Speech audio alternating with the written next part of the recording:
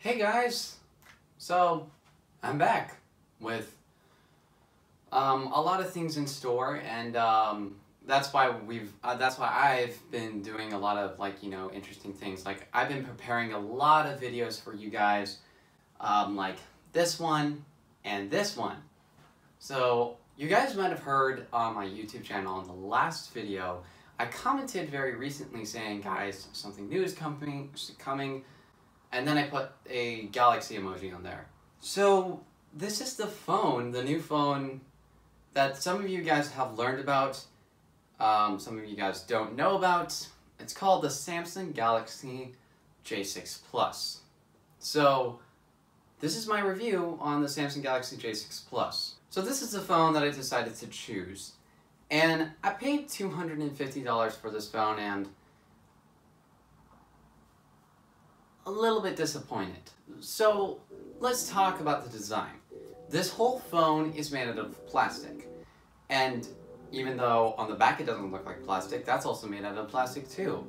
The back looks like glass, uh, but the sides definitely look and feel a lot like plastic. On the design point, there's a side-mounted fingerprint scanner, a front-facing speaker, and also a headphone jack at the bottom and micro USB.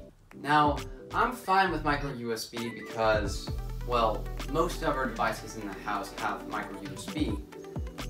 Not all of though, because like most of our family uses iPhone anyway.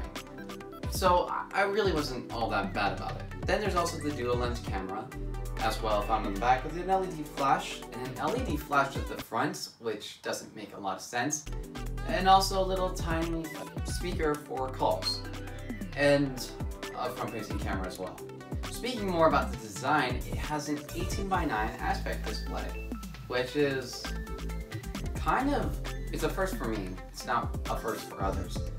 But yeah, this is, it's an 18 by 9, and it's also an LCD display. At first, I didn't even know that it was an LCD. I thought it was an AMOLED. But I was wrong when I looked at the specs, because it's actually an LCD panel. And I paid $250 and I'm like, whatever. Until I realized after I paid for this phone. Then there's also the processor. It's a Samsung, look, I'm not going to tell you about processors, but it does feel fast for the most part, although I do feel like that it's a little bit slow and buggy. Which kind of annoys me because I come from a phone that even from two years later still works really well. And then I, well, I mean, I played a game, uh, like I played this kind of 3D intense game. Uh, it was a space online game, Space Armada, and uh, it, was played online, but it, it, worked pretty well. Although I played Marvel uh, Contest of Champions, and it told me, wow, your processor is not that great, we're gonna have to drop frame rates and I definitely kind of noticed it, but it didn't really exactly bother me. I mean, on one hand though, it won't exactly bother, like, performance on this phone won't always bother you. Like, it will just be like, you know, it feels pretty snappy. I mean, some things do take a bit of time to load, but I mean, like, it's fine. When you watch stuff on this, it's an absolute pleasure and joy, but, um, and I mean, it's absolutely great because I have this case and it utilizes that front-facing, that side-mounted speaker and it's just a lot more better anyway. But one thing is, is that it, it really, I think I miss the dual, dual front-facing speakers though. Because like, sure, the side-mounted one is fantastic, but it's not that great. And the fingerprint scanner on the side, by the way, isn't that great either. Oh well. And then there's the cameras. We, I gotta talk about the cameras. Because I paid $250, well, look, Here's what you get for $250. You get a 16 megapixel camera right here and a 2 megapixel secondary lens. And at the front you get a 5 megapixel selfie camera. Now I thought that secondary camera was absolutely useless when I took a portrait shot, but once I put my finger over it, it said, hey, you're blocking the camera. And I thought, huh, so it does use that secondary camera. I thought they were just lying. And I honestly feel like though that it's a bit of wasted space. I'd rather prefer if this could just be a wide-angle camera, not a secondary telephoto lens. And speaking of, it doesn't even use for a telephoto lens. Then there's the details. on this camera. And because it shoots at 60 megapixels, I thought it was gonna be good. No, it wasn't even close to good. Like, it looks really, colors looked washed out, and if you zoom up on some photos, it looked like it's an oil painting, and not in a good way.